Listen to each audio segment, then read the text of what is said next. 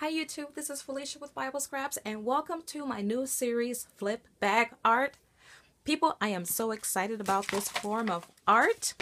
If this is your first time um, checking out my flip bag art, um, I will have links in the description box. This is one, my second flip bag card that I created. This was the Lori style. And I'll have a link for this video. Super duper cool. And I gave you guys a sneak peek of my flippy card. And I'm going to have a tutorial on showing you how you can make your own flippy cards. And so I introduced to you guys my latest flip bag creation. And that's the easiest flip bag album, flip bag book you can make. Are you guys ready? Isn't this gorgeous? I absolutely love it. I tell you, I began playing with clear bags over a month ago.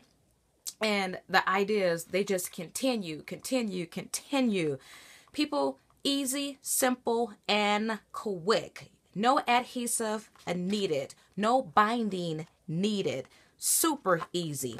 On the cover page, by the way, this is acetate. I'm going to show you guys how you can score acetate. I had never done that before, but it's quite easy. And I'll have a link to uh, different products that you can buy. And I'm also going to show you guys some products that I used. But flip bag art is perfect. If you are a sticker hoarder like I used to be, I have hundreds of packs of stickers. Flip bag art is perfect for stickers, your dimensional embellishments, for your rub-ons, for your for shakers, for um your gemstones. Oh my goodness, just what you could use in flip bag art. Okay, so let me get to it. This is the front cover. As you know that, I have three bags. I call my bags flippies. On the bottom here with a rub-on or rub-ons that spell fun a sticker here and some gem stickers here, sequins added on each bag. This right here, of course, is a flippy. Now, what's different about this one, I have the acrylic heart adhered on top of the flippy.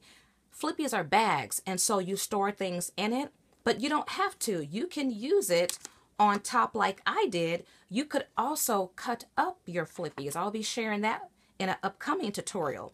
Now, what's cool about using flippies and and creating with flip bag art, you get to layer like never before. You see how this one flips? Well, I've positioned my flippy so when it flips back, it flips in the center of this area here, which is on the next page.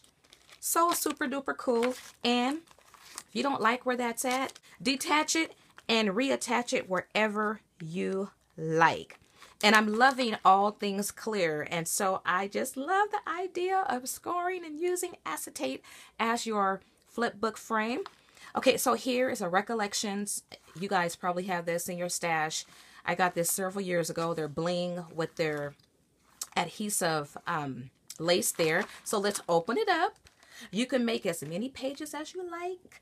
Right here is a page and you see a waterfall effect that I have here. These are rub-ons that I got from Tuesday morning recently. I'm going to share that with you guys. Right here is a die cut of a substance that you might have in your stash. I will be sharing what that substance is. I'm going to dedicate a whole flip book album to this substance here, but I have that on a flippy.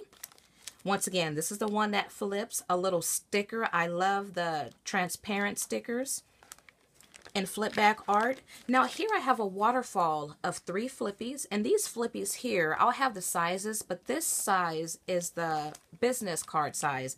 I'm to add pictures in these flippies because you can add pictures and by the way you guys this is totally acid free archival and the bags that I use of our they're good quality. So it's going to hold up for a very long time. Now here's a page here and I've added a, a ribbon bow in this flippy. Now what I didn't do with this one you can take a pop dot and add it to your embellishment. Add it like right there and then when you put your embellishment in it will stick to the baggie. You can do that if you don't want that embellishment to shift. I didn't do that here. I think I might go back and do it because I want to be able to see Laugh With Me when I close my album. Okay, and so here I've added a sticker that says you are special. Nothing here just yet. Now I'm going to come back to this page. This is a very cool page right here. And this page here, I have a flippy. You can add paper to your flippies or you can just add your stickers. So here I didn't add any paper. And here is a different size flippy, and I've added an acrylic flower arrangement there. One glue dot is holding this whole arrangement down, and that glue dot is in back of this flower here. So, flips like that. I just love it, love it, love it. And I have a smaller flippy here going the same way as these pages. I just haven't added anything to it yet. And this last flippy, the back one, um, I have a flower. The cool thing about flip bag art, you can put whatever you want to put in the bags. So it's all about decorating your bags and putting things in your bags and arranging your flippies wherever you want them on your page. And so this is that substance I'm going to share with you guys that I've die cut this bird cage out of.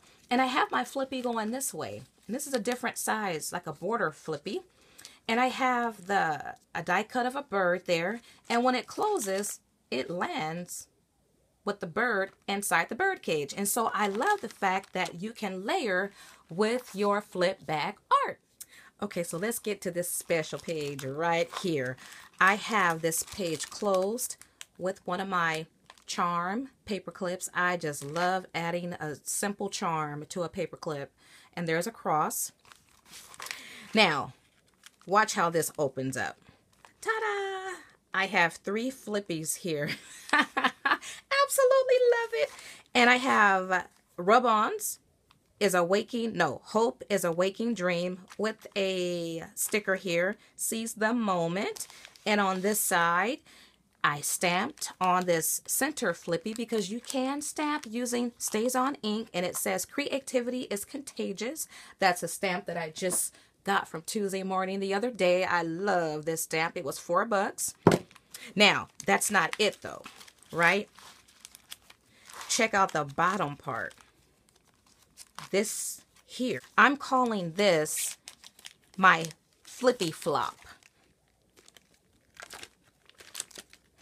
well, you know what? Let me turn it this way so you can see it. If you take a look at that, look at the layers there, like a waterfall effect, except these open up like that. So I didn't add anything on it yet, but you could add stickers and spell a name. I just thought that was so cute. So I'm calling this technique flippy flop. It reminds me of a person that talks a lot, flap, flap, flap, flap. No, it's called flippy flap, not flippy flop. Flippy flap. Yes. Okay, so let me give you guys a quick tutorial showing you how, or just the basic construction and a couple so techniques. here I'm using my Martha Stewart scoring board and the key to scoring acetate, I'm going to have a link in the description box of this acetate. I got it from Amazon. The key is using that type of screwdriver. It's the flat type and you want to score it three to four times. Now if you score it too hard, it can um, split in certain areas, but if it splits, go ahead and use it because the project I showed you, it was split in a couple areas and it still works because acetate is very durable. You want to flatten that out.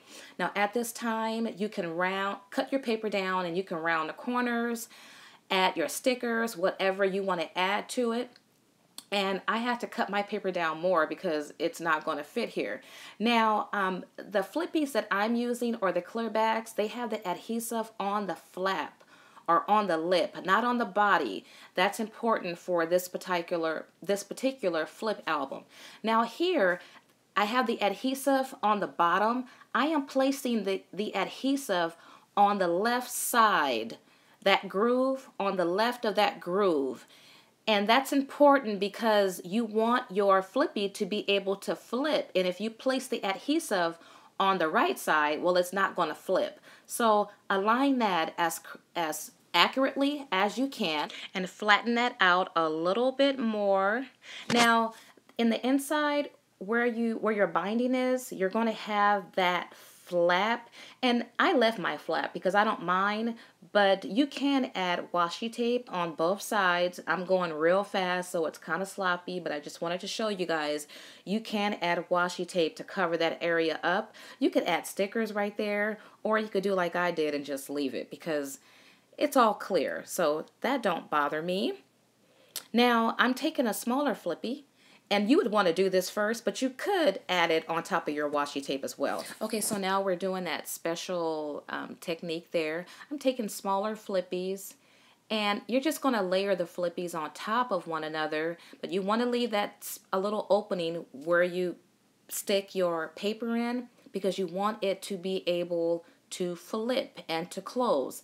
And you take your top one, adhesive on the top, and you could position it in back of that flippy there. And that's just really simple. You just you fold it and you're good to go. This is that other special technique. This is the flippy flap. Measure your paper. I measured mine um, double the height and just fold it, score it, and then you stick your um, paper in and you have a flippy flap there. And you can adhere that one either with the ad under that way or over that way. And so I'm showing you the over and that's the under. And you just add additional. Now I like flap. to work on acetate or a sheet of sheet protector when I'm working with my um, my flippies because they attach and detach very easy. This is probably my favorite paper stack of all time. I got this from Hobby Lobby. I cannot wait to visit another Hobby Lobby out of town. These stickers and rub-ons and stamp is from Tuesday morning. And that special medium, you guys, you have this. It is vital. So these bags are my favorite. They're by a company called Clear Bags. These you could pick up at Michael's. They have decorations on the bags. And then these are the ones at Tuesday morning. You could choose any size bags you like. I will have a link to Clear Bags and in the description always, box. Blessings.